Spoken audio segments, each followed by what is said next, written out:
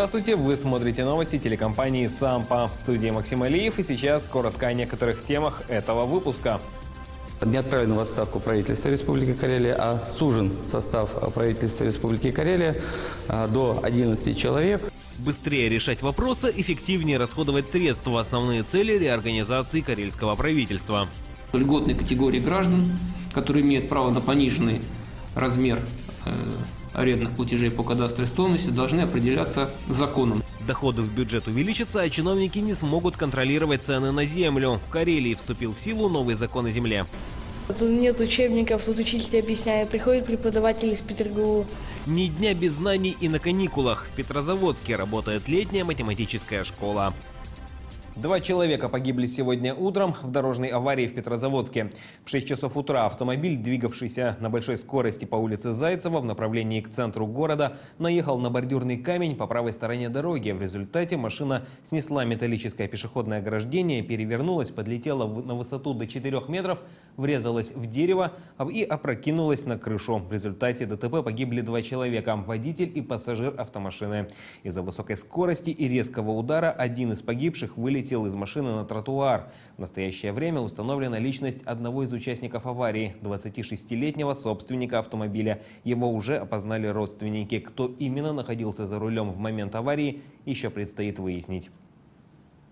Правительство Карелии не отправлено в отставку, подчеркнул сегодня руководитель администрации главы республики, комментируя появившиеся слухи о перестановках в республиканских эшелонах власти. Напомним, накануне Александр Худиланин подписал постановление, согласно которому внесены изменения в структуру органов исполнительной власти республики. Любовь Трофимова подробнее. Согласно новой структуре правительства, сливаются Министерство строительства и Комитет по ЖКХ и энергетике. У них смежные задачи и объединение позволит быстрее решать общие вопросы и тем самым минимизировать расходование бюджетных средств. По сути, на это же направлено и создание двух госкомитетов по туризму и транспорту. Обе отрасли, подчеркивают в правительстве, важны для развития экономики Карелии.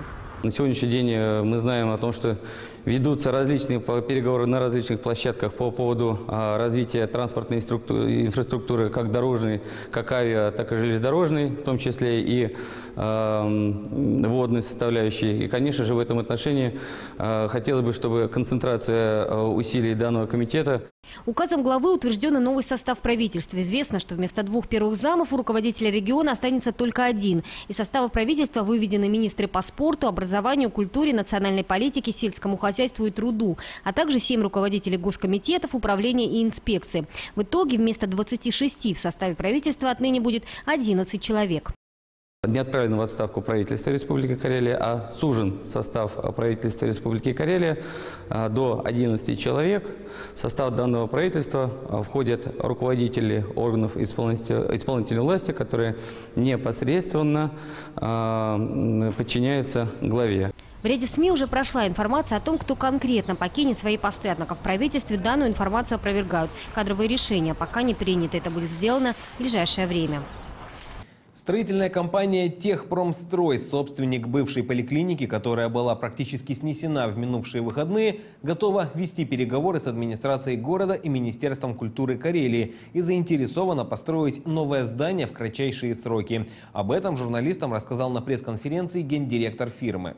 За все время, что длится скандал, по словам собственников, никто из официальных лиц не предложил встретиться с ними и провести переговоры. Журналистам показали проект новой постройки. Он прошел госэкспертизу и предполагает сохранение исторических фасадов, за которыми будет скрыто современное здание из стекла и бетона.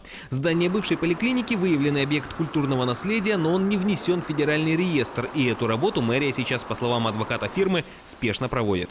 Объектом культурного наследия являются только фасады на сегодняшний день, которые мы и не трогаем. Но в то же самое время последнее вот, а, письмо Министерства культуры говорит о том, что они теперь считают, что раньше они нам согласовали это ошибочно. Их такой проект не устраивает, а что нужно делать в такой ситуации, они нам не говорят. По словам гендиректора фирмы, уже долгое время по неизвестным причинам мэрия не согласовывает проект. Более того, строителям стало известно, что помещение, принадлежавшее администрации города, 68 квадратных метров, мэрия желает выставить на торги. Еще в 2006 году с прошлым руководством города был подписан договор о совместной реконструкции, однако новая власть его почему-то расторгла. Компания готова провести публичные слушания и обсудить проект с жителями. Как сообщили предприниматели, вывешивать щитовой баннер ко дню города, чтобы скрыть руины от глаз туристов и гостей, они не намерены.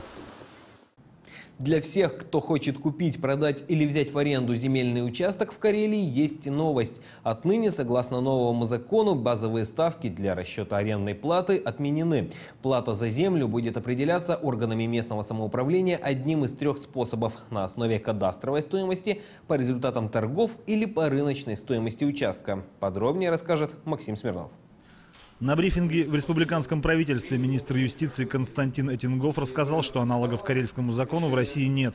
Министр подчеркнул, что этим законом чиновник полностью выведен из процесса определения размера арендной платы и условий предоставления земельных участков в аренду гражданам и юридическим лицам. Коэффициент платы будет устанавливаться органами местного самоуправления в рамках разрешенных законодательством. Также Константин Этингов раскритиковал работу кадастровой палаты.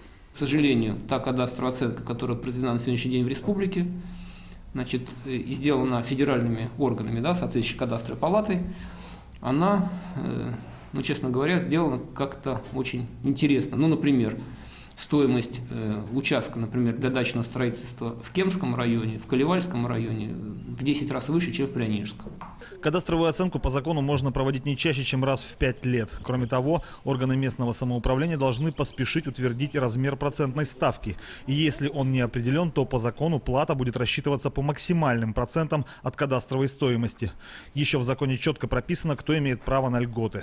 Льготной категории граждан, которые имеют право на пониженный размер э, арендных платежей по кадастровой стоимости должны определяться законом, то есть законодателями. И этот исключающий перечень, исчерпывающий перечень, он в законе содержится.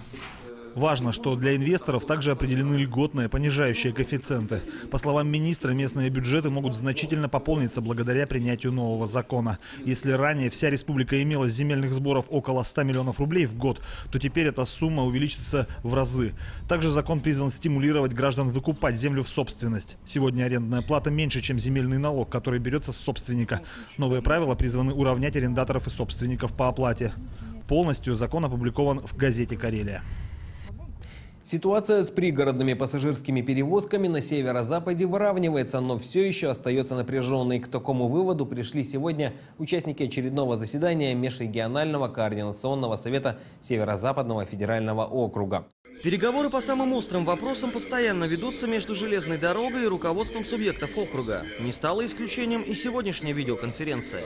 Одним из самых насущных вопросов вновь стала проблема убыточности многих пригородных перевозок в северо-западных регионах и возмещения убытков железнодорожникам из региональных бюджетов.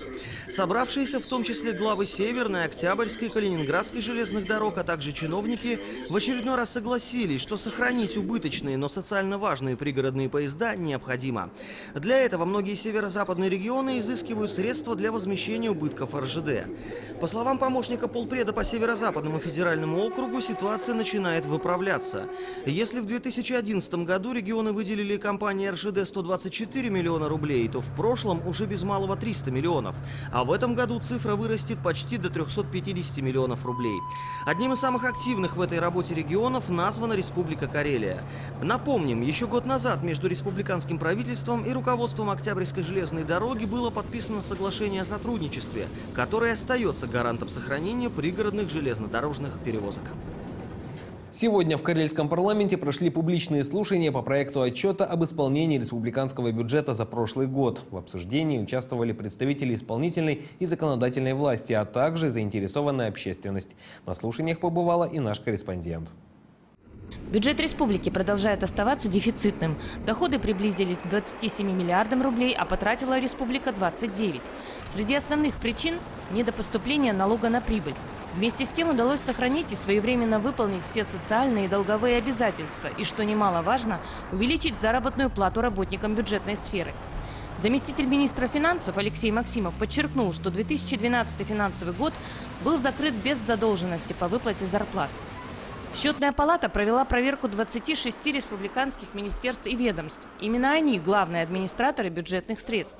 По итогам проверки были выявлены недостатки и нарушения. Постоянное представительство Республики Карелия при президенте Российской Федерации, что нас крайне удивило, уже второй год нарушает сроки предоставления отчетности финансовой. Как выяснилось, требования по бухгалтерской отчетности нарушают и Министерство образования, и Министерство сельского хозяйства, и Минздрав. В целом, счетная палата подтвердила исполнение республиканского бюджета по расходам, доходам и дефициту. Руководитель контрольного ведомства также отметила, что бюджет сохраняет свою социальную ориентированность. Общий объем расходов на социалку составил четверть потраченных средств. На образование пошел почти 21%, а на здравоохранение 18,3%. Добавим, что потратить все бюджетные деньги в прошлом году мы не сумели.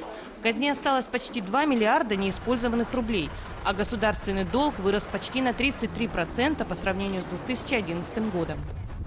Вопрос об информационной открытости органов власти по-прежнему остается насущным. Сегодня его рассматривали на заседании Координационного совета при главе Карелии. По противодействию коррупции интернет-портал должен быть легкодоступным, а его содержание понятным.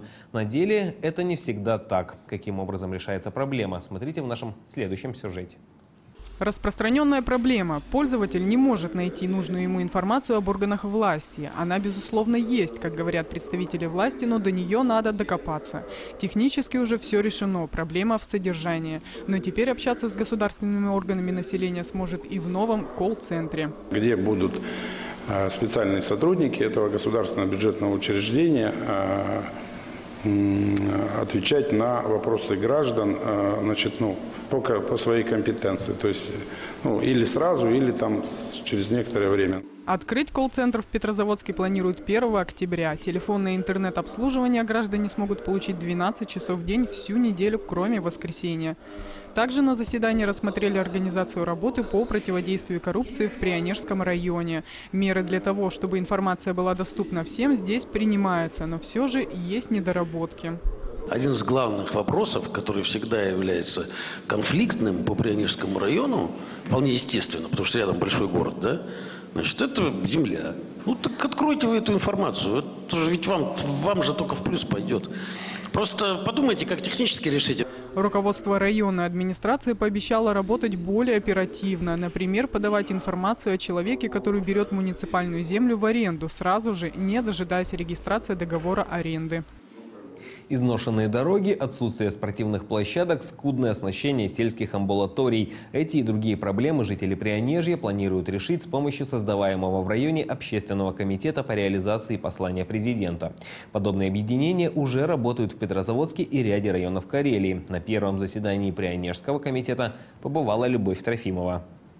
Сначала, как и положено, утвердили состав комитета и выбрали председателя. Им стал Алексей Лучин. С проблемами Прионежья он знаком не понаслышке. Много лет занимался общественной работой в районе. Дороги, ЖКХ, здравоохранение, образование – все эти сферы нуждаются в деньгах, которых в районе явный дефицит. Мы будем анализировать э, эти проблемы, мы будем обсуждать с жителями решение этих проблем – естественно, мы будем добиваться в правительстве республики, чтобы эти проблемы решались в первую очередь. К примеру, в Шуе проблема номер один – строительство крытой ледовой площадки. Интерес к хоккею и фигурному катанию там колоссальный. Занимаются и дети, и взрослые. Решение о строительстве катка принято уже давно. Но чтобы получить федеральные деньги, нужно вложиться и самому району. Также необходимо выделить земельный участок. Решение этих вопросов слишком затянулось, считают жители. Решение сессии района сейчас имеется о том, что в начале строительства а, задача комитета будет проконтролировать, в какие сроки и как, и как, какими мерами этого добиваются всего этого решения. Решить все проблемы не удастся. Члены комитета это отлично понимают. Поэтому их задача выбрать приоритеты.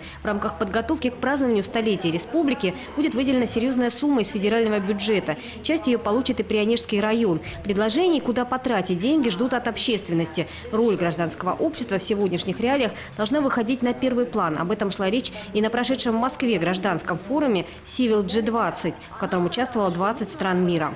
Чиновник, он несколько зависим от своего начальства.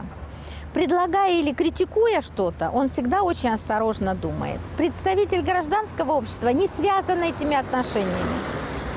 И он может сказать в этом общественном комитете на самом деле то, что он думает.